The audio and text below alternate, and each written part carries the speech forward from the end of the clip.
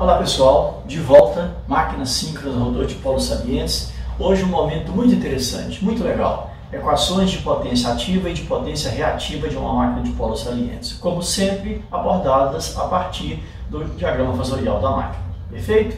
Vamos fazer o trabalho da, da expressão de potência ativa.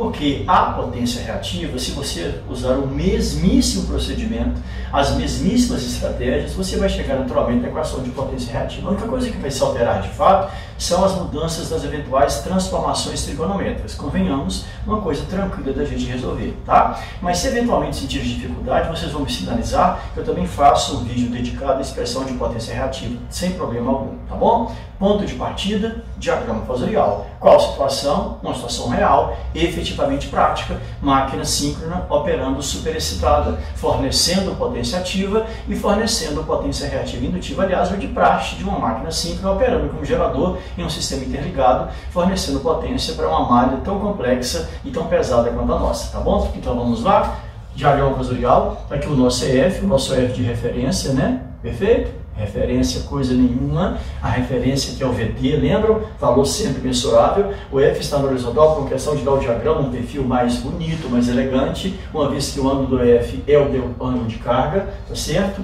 E em se tratando de um gerador, olha o sentido de giro, tá? Nós colocamos o VT deltinha graus atrasado em relação ao F. Aí sim, o ângulo de VT que é zero, VT que está na referência, tá? Essa nova posição aqui é apenas para ficar uma coisa mais bonitinha, mais organizada, mais elegante, principalmente quando vincularmos esse fasorial às grandezas relativas à máquina de polo saliente, tá bom?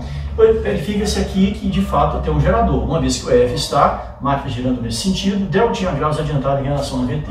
Se prolongarmos VT e nesse prolongamento projetarmos F, vamos perceber que o prolongamento do F está bem maior do que o VT. Resultado, sem dúvida, se trata de uma máquina superexcitada. E uma máquina simples superexcitada, a corrente armadura estará então 30 graus atrasada em relação né, à tensão terminal. E é sempre bom frisar, a tensão terminal, a corrente de armadura e o teta são fundamentalmente os únicos elementos de fato mensuráveis nessa estratégia nossa de abordagem e nessa ferramenta que estamos utilizando, tá bom? Da maneira como o diagrama se encontra nesse momento, ele se trata, sem dúvida, de um diagrama de uma máquina de rotor cilíndrico. Vamos incorporar, então, as características de uma máquina de polos salientes, é para já. Sabemos que a direção de EF coincide com a direção do eixo de quadratura, apenas o sentido, que é o sentido oposto, está lá, perfeito? E pela teoria de dupla reatância, 90 graus elétricos atrasado em relação ao eixo em quadratura, se encontra o eixo direto da máquina. Prontinho. Aqui aparece aquele ângulo que eu gosto de falar que nem, nem número de fato ele tem, mas é um ângulo importante, porque ele mostra a defasagem entre a corrente de armadura e o eixo direto, para que possamos, com esse ângulo, uma vez definido, projetarmos a corrente de armadura, né? E encontrarmos a componente ID, que é a projeção dela ao longo do eixo direto, e a componente IQ, que é a sua projeção ao longo do eixo em quadratura. Pronto, está aqui. Né? Basicamente feita essa consideração. Sabidamente, associado ao eixo direto, temos a nossa reatância síncrona de eixo direto, e associado ao eixo de quadratura, a reatância simples de quadratura. Nada que nós não sabemos e nada que não tenha sido discutido aqui com muito cuidado, com muita atenção e com muito carinho, inclusive, tá bom?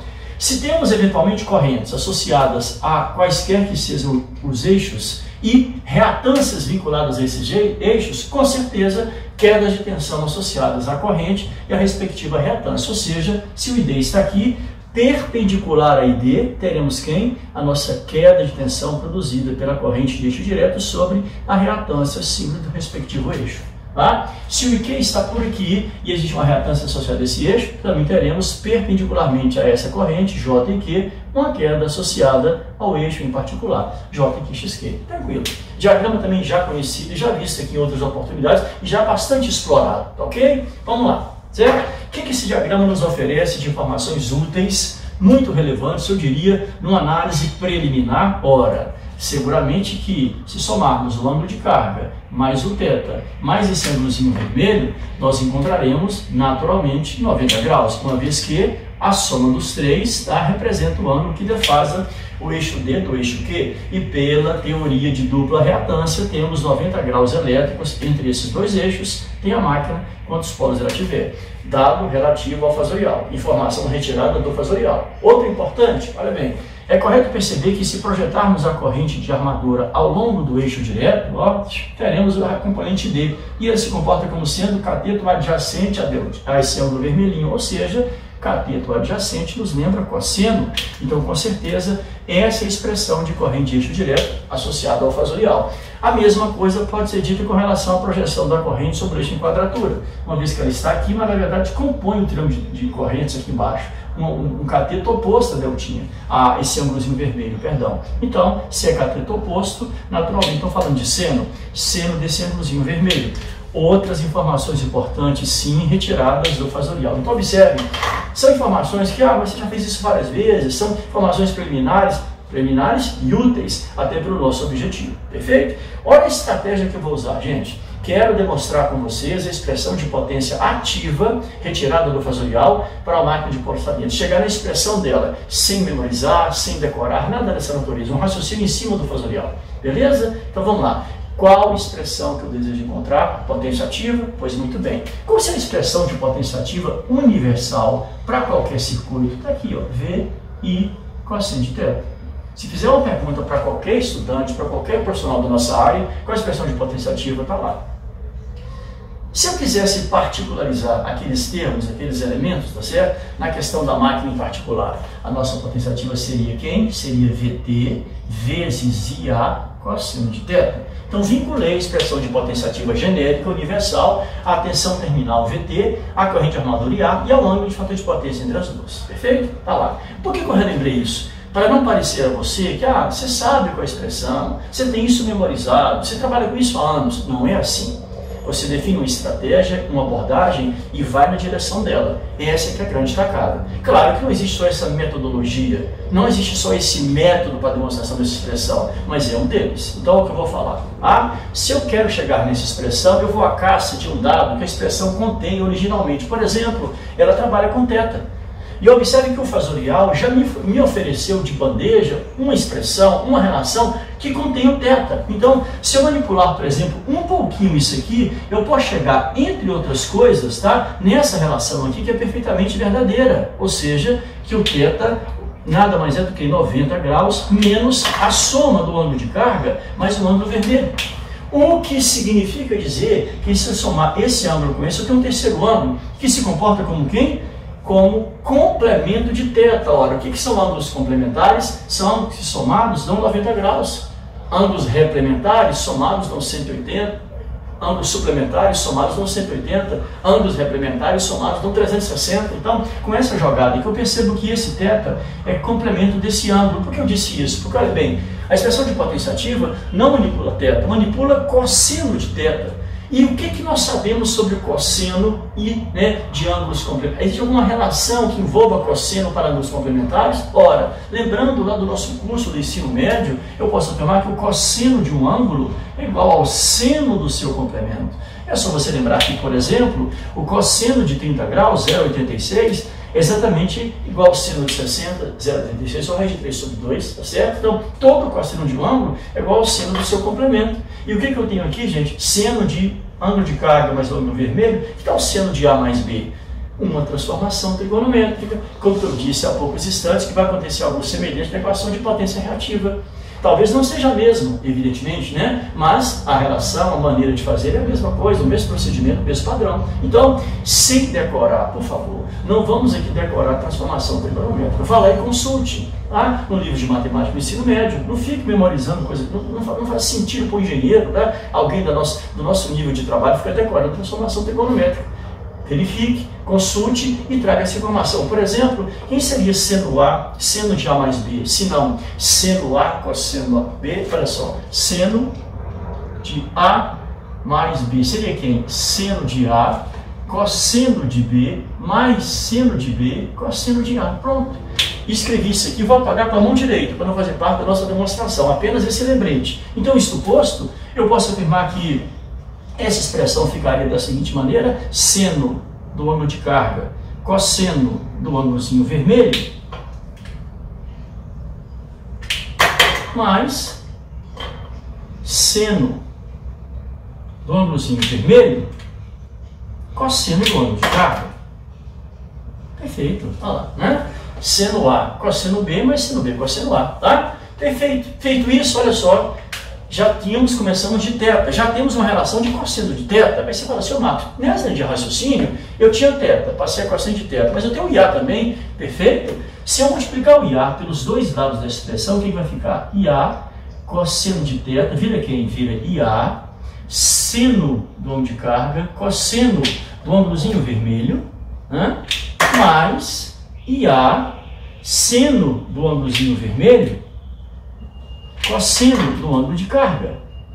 Perfeito? Multipliquei a corrente de armadura dos dois lados da expressão para que a expressão não se altere matematicamente. Tá? Então, quando você bate o olho, você pode falar assim, pô, mas é, o ângulo vermelho eu nem meço, nem sei o que significa, eu tenho que ter um ângulo de carga, que é a busca, né? É claro que a expressão de potência ativa está toda escrita em forma de cosseno de teta ou teta, que tem sido um hábito desde circuitos elétricos e de eletroteca aplicada, um hábito salutar, um hábito correto, um hábito adequado. Não estou dizendo que é equivocado você fazer isso, ao contrário, a ideia é propor para vocês uma nova forma de ver a questão. Eu tenho dito isso desde que nós começamos máquina síncrona, tentar nos habituar a ver a máquina também sob a ótica do ângulo de carga, é o que eu estou te propondo fazer fazer. E sendo assim, olha que coisa interessante. Olha isso aqui. IA, IA vezes o cosseno do ângulo vermelho. Mas isso é o ID.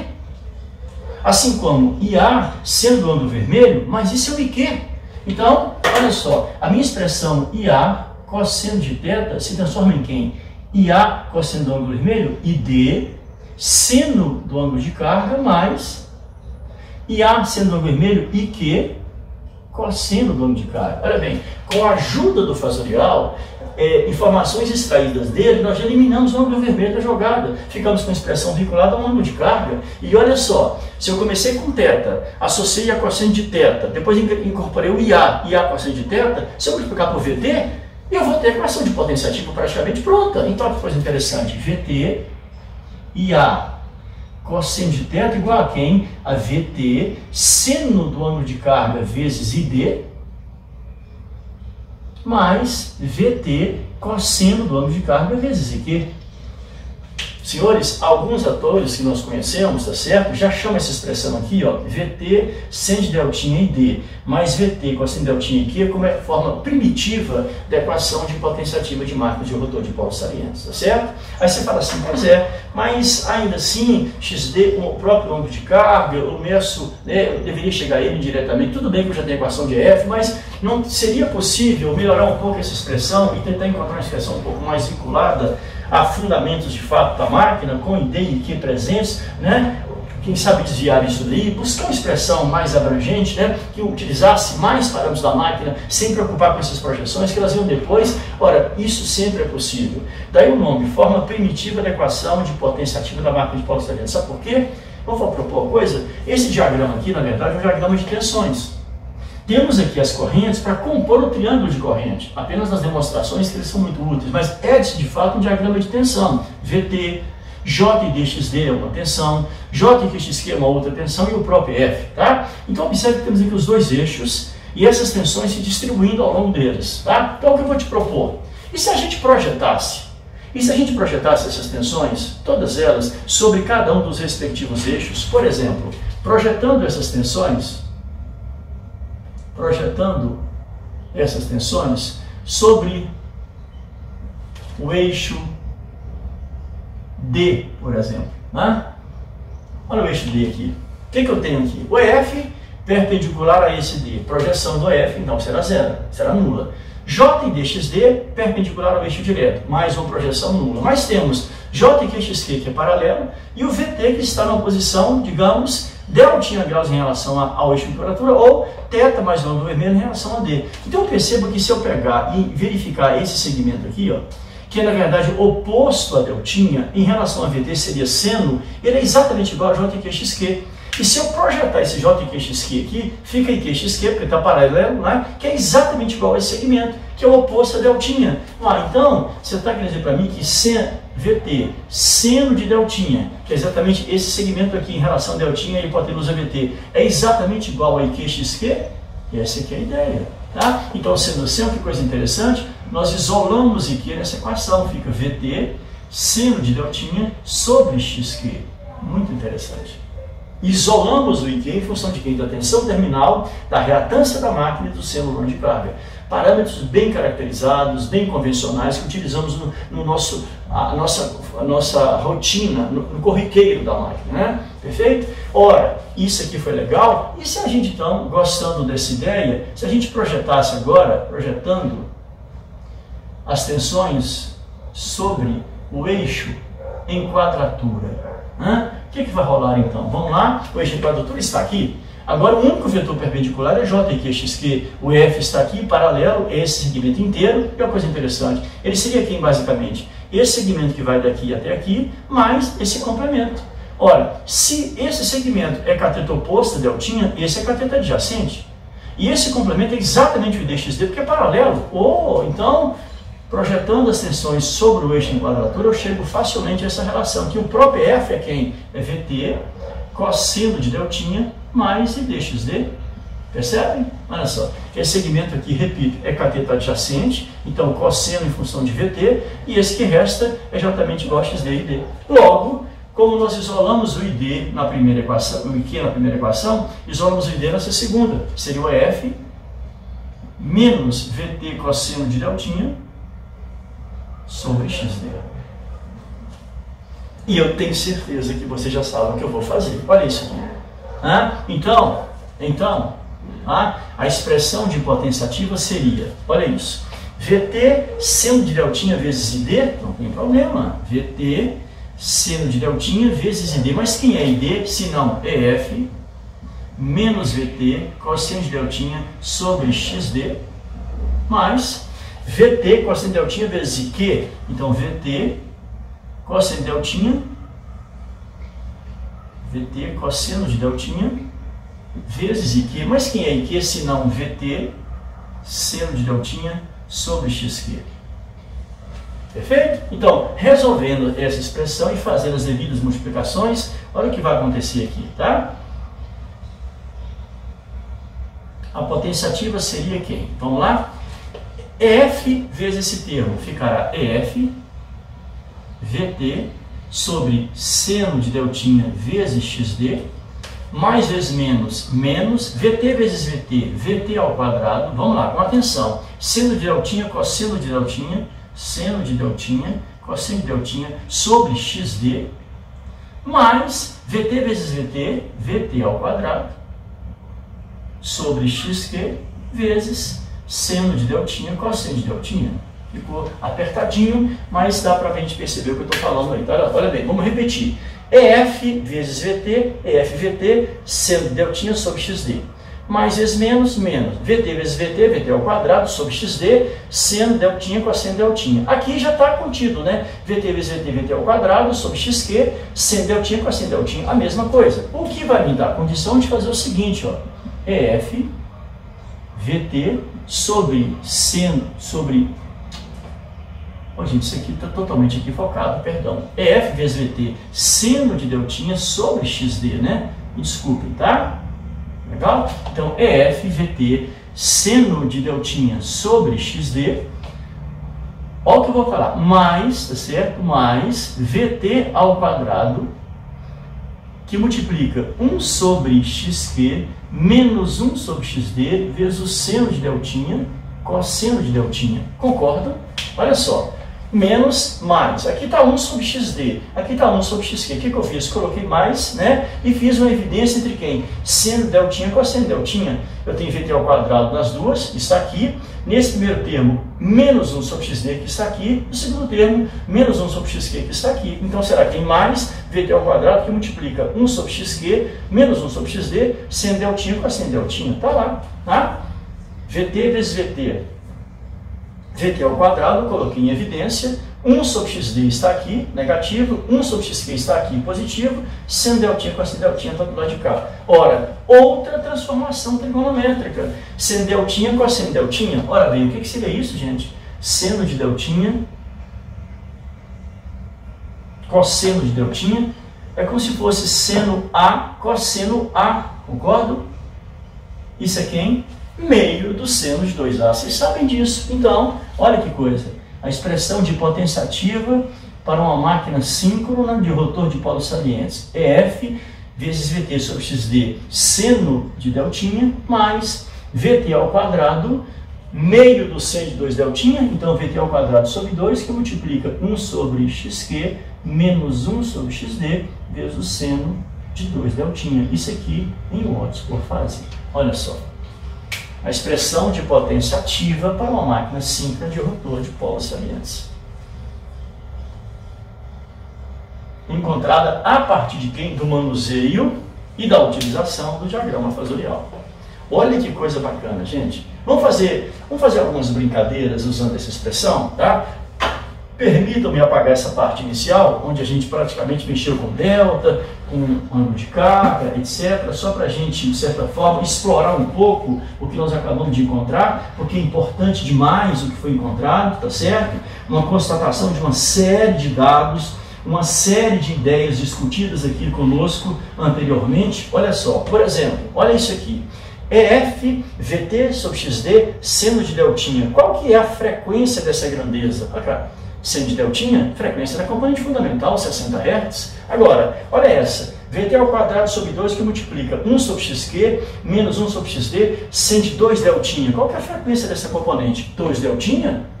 O dobro da frequência de referência, ou seja, o dobro da frequência fundamental. Ou seja, olha aí a nossa componente de segundo harmônico aquela mesma que nós tínhamos proposto e descoberto no primeiro módulo relativo à máquina de rotor de polos salientes. Tá? Olha lá, aquele experimento que nós propusemos, tá certo? Então apareceu naturalmente ali, sobreposta também aquela componente né, fundamental, uma componente segunda harmônica. Eu disse que ela apareceria naturalmente, sem forçar a barra, com muita tranquilidade, com muita leveza, na equação de potência que a máquina apresenta. Olha lá, equação de potência ativa associada ao segundo harmônico. Que beleza, né? Por exemplo, se fosse uma máquina de rotor cilíndrico, isso, vamos testar, vamos ver se a coisa está legal. Se fosse uma máquina de rotor cilíndrico, o XQ seria igual ao XD, o entreferro seria uniforme de fora a fora, não teria entreferro diferente, seria o mesmo tamanho em toda a região perimetral. Então, XD seria igual a XQ. Se forem iguais, esse termo some, fica quem? É FGT, sinterotina sobre XD, que é o próprio XS. Exatamente a equação de potência ativa para a máquina de rotor cilíndrico. Tá? Quer ver que coisa legal? Se a gente pudesse representar uma pequena manobra, uma pequena análise aqui, que eu vou tentar plotar uma relação entre quem? Né? Eu vou tentar plotar a expressão de potência ativa em função do ângulo de carga, tá bom? P por deltinho, P por deltinho, digamos assim, certo? E presta atenção, esse primeiro termo aqui, o termo EF, VT, sobre XD, seno de deltinho, eu vou traçar em preto e vou chamá-lo de potência potência de excitação. Por quê? Porque ela está ligada à corrente de excitação da máquina. Como é que eu sei disso? Ao F aqui. Ao F aqui. Lembra daquela nossa coluna? Quando você mexe no IF, corrente de excitação, você altera a força magnetomotriz de excitação, você altera o fluxo rotório que altera o F. Olha lá. Tá? Então, essa primeira parcela da expressão de potência ativa, a parcela de 60 Hz, a parcela de frequência fundamental, ela é conhecida como potência de estação, por quê? Porque ela está vinculada à estação da máquina, tá certo? E de primeiro harmônico, 60 Hz, tá certo? De fundamental, então eu diria que seria uma, uma forma de onda basicamente assim, ó. Tá? Uma função efetivamente senoidal. Olha lá. Tá? Agora, observe a segunda parcela, essa aqui, VT ao quadrado sobre 2, que multiplica 1 sobre xq menos 1 sobre xd, né? seno de 2 deltinha. Tá? Essa vai ser traçada em azul. É conhecido como quem? Como potência de relutância. Potência potência de relutância.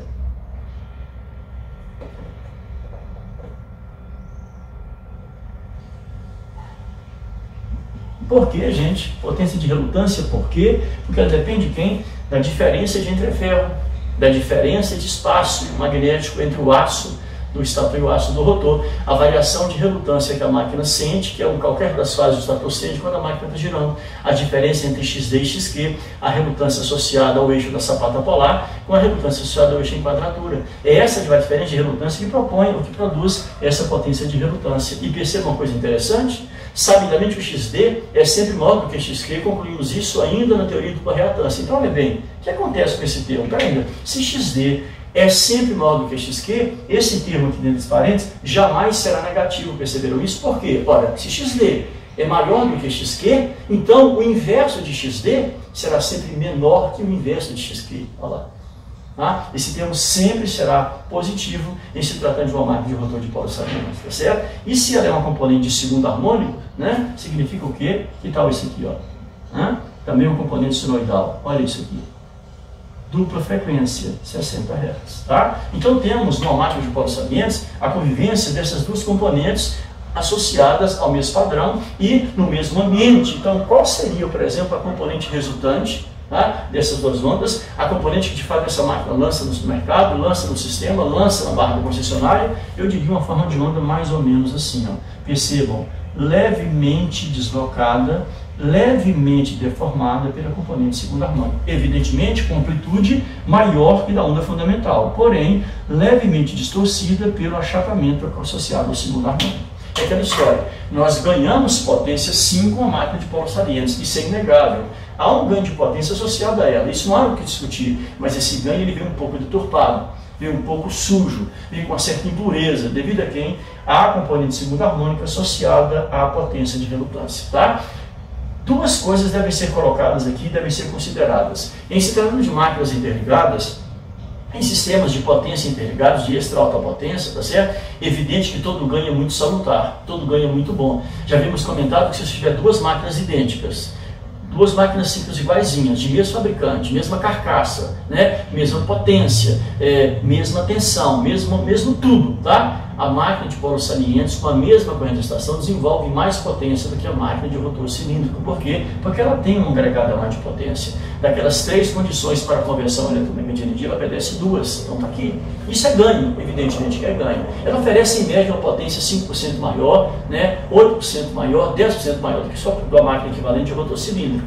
Então, o que fazer para ter esse benefício do ganho sem que a distorção do segundo harmônico venha a causar problemas até que dificulte o paralelismo dessa máquina com outra máquina? Que você sabe, forma de onda é uma das condições de paralelismo de máquina síncrona. Se essa onda vier muito deformada, maravilha, dá uma amplitude maior, transporta, transporta mais potência, converte mais energia, mas a forma de onda, que é uma condição de paralelismo, não bateu, a onda está muito distorcida, a distorção maior do que 5%, eu não vou colocar essa máquina em paralelo com as outras. Então é o tipo de ganho que não traz benefício algum. Então como é que eu faço para ganhar, mas manter esse ganho dentro de um percentual que não venha agregar tá, uma distorção tamanha que inviabilize a colocar essa máquina em paralelo com outras? Olha só, primeira coisa, a máquina opera sempre superexcitada. Por quê? Porque estando superexcitada, ela fornece reatividade para o sistema. E olha bem, estando superexcitada, convenhamos, o F cresce muito, então a parcela relativa à frequência de 60 Hz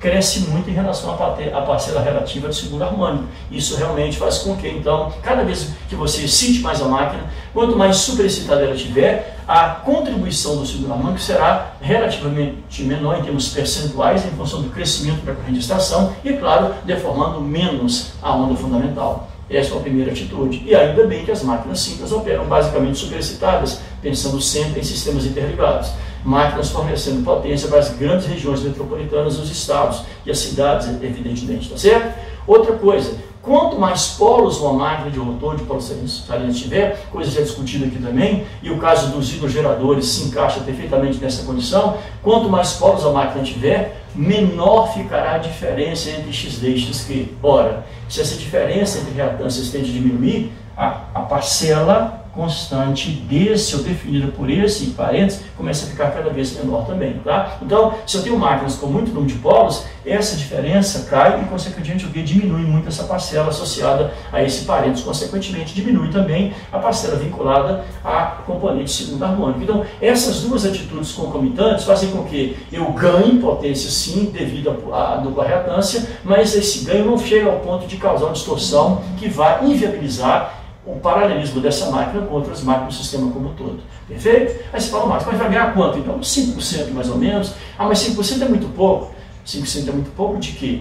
Importante você trabalhar com percentual com sapiência, com sabedoria. 5% de um ambiente de nível de potência reduzido realmente é um ganho muito pouco significativo. Mas 5% de alguns gigawatts de energia, convenhamos, é uma potência realmente bastante significativa e que é sim muito bem-vinda ao nosso sistema interligado. Olha que coisa bacana, tá? Então, gente, esse assunto aqui, percebe que não se esgota. A cada vídeo que nós propomos para vocês é mais uma manipulação, é mais uma maneira de você abordar o fasorial e mais contribuições que o fasorial traz para a gente. Então, eu insisto, usando uma, uma configuração e um procedimento rigorosamente idêntico, você chega na equação de potência reativa, tá? E para ajudá-los, para ajudá-los, eu vou até colocar essa equação aqui no quadro para que nós possamos fazer um teste final. Porque olha só, eu vou partir do mesmo fasorial, da mesma condição angular, ângulo de carga, mais θ, mais ângulo vermelho igual a 90 graus, teoria da dupla reatância, ID e A cosseno do ângulo vermelhinho, IQ e A sendo o mesmo ângulo, e a partir daí eu isolo o θ do mesmo jeito. Como na equação de potência relativa será seno de θ,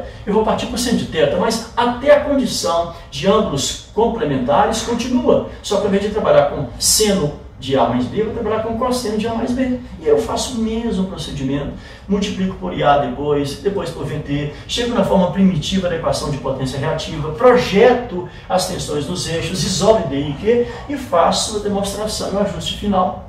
E ao trabalhar assim, só para que você possa fazer uma tentativa aí, para né, encontrar a equação de potência reativa, eu vou colocar as duas aqui no quadro para o seu, né, para o seu, digamos, deleite intelectual. Se a equação de potência ativa da máquina de rotor de polos salientes é essa aqui, é FVT sobre XD sem deltinha, mais VT ao quadrado sobre 2, 1 sobre XQ, menos 1 sobre XD sem 2 deltinha, qual seria de potência reativa então? Vamos lá, é F vezes VT sobre XD cosseno do ângulo de carga, claro, né? Se a potência ativa é seno do ângulo de carga, a reativa com certeza é cosseno. Vamos lá. Mais, olha isso, VT ao quadrado sobre 2 que multiplica 1 sobre xq menos 1 sobre xd, cosseno de 2 deltinha, atenção, menos VT ao quadrado sobre 2, que multiplica 1 sobre xq mais 1 sobre xd, isso em volt ampere reativo por fase. Tá? Muito semelhantes, né? Parcela de excitação parcela de redutância e aquela parcela constante, que aliás está presente inclusive na equação de potência reativa de uma máquina de rotor cilíndrico. Combinado? Mas se vocês quiserem, se vocês julgarem necessário, basta me dar a informação, dê um, dê um retorno para mim no canal. Marcos, você poderia dedicar um vídeo à demonstração da máquina da equação de potência reativa? Com certeza faríamos isso, tá bom? Desculpem. Então vejam bem, no módulo seguinte, e talvez no módulo seguinte e no outro, como a gente trabalhou com muitas equações, equação de tensão, equações de potência, eu vou fazer alguns estudos de casos com vocês. Vou propor alguns exercícios para a gente usar essas expressões encontradas e testar a veracidade e a habilidade nossa em trabalhar com esses dados para encontrar valores de potência, de tensão né, e de carregamento de máquina. Combinado? Então me aguardem para o próximo módulo, já preparando alguns estudos de caso simples com utilização das equações de potência ativa, reativa e as equações de tensão. Ok? Um grande abraço, espero que tenham gostado. Até o nosso próximo encontro. Saúde e paz.